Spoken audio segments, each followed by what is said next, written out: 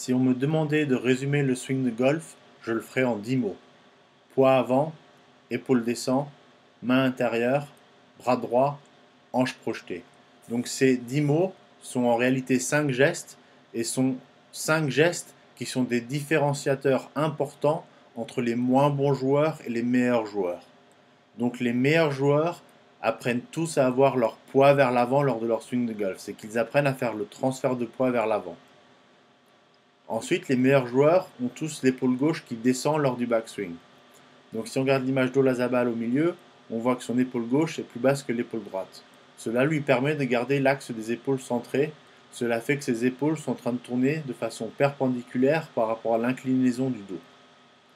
Ensuite, si on regarde encore Olazabal, ses mains vont vers l'intérieur tout au long du backswing et retraceront cette direction lors de la descente.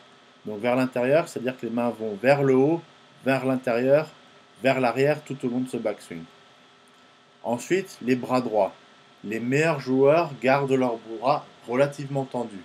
Donc au backswing, clairement, le bras droit va se fléchir légèrement. Au finish, le bras gauche sera fléchi légèrement. Mais ils gardent essentiellement les droits droits. Surtout lorsqu'on compare ceci aux joueurs amateurs qui ont beaucoup de flexion au niveau des bras et se retrouvent avec le manche très près du corps. Enfin, les hanches projetées. Les meilleurs joueurs apprennent tous à, à faire ce geste d'extension au finish où les hanches vont vers l'avant et vers le haut. Un peu comme Faldo dans l'image de droite ici. Ces cinq gestes sont des gestes qui sont présents depuis longtemps. Mais véritablement, ce sont des différenciateurs entre les bons et les moins bons joueurs. Apprenez à faire ces gestes et vous jouerez définitivement mieux au golf.